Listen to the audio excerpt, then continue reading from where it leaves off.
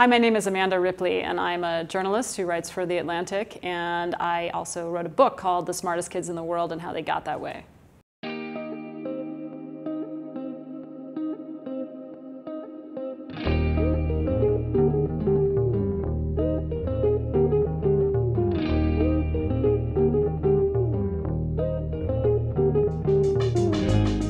What's lacking in the US education system, if we had to just choose one thing, is focus. There's a lot of noise and distraction and infighting in education in the United States. And the effect of that is there's not really a consensus about what matters most. And until you have a priority in a complex system like education, it's really hard to make change, right? So we have to build a consensus about what matters most.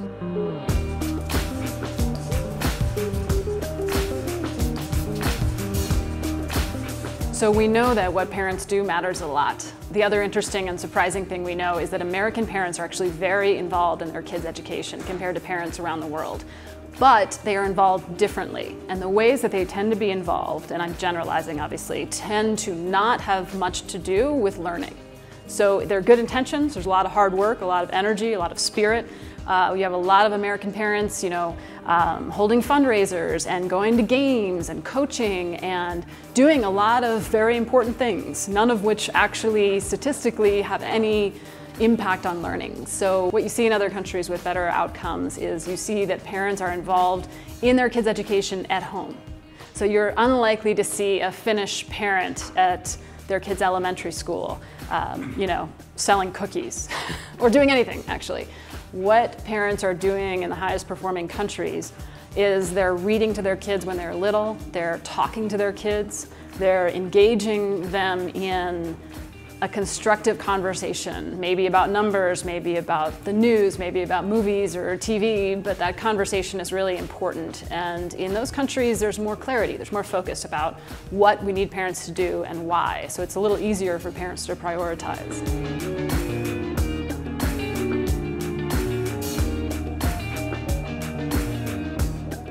In 20 years, you know, I think the US system could go one way or another. Um, I worry sometimes that we might be headed towards more of a pressure cooker model that you see in South Korea, in Singapore, China, parts of India.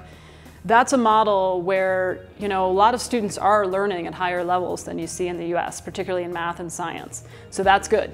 But the cost is really high. You know, it's very inefficient for one thing and very um, joyless for another. So we have to be careful to try to look to other countries as well as models and find ways that um, are demanding more of kids and parents and teachers, but not necessarily working them to death. So if you look at a country like Finland, they're achieving the same results as South Korea, but they're doing it in a much more humane way. And so how do you get there?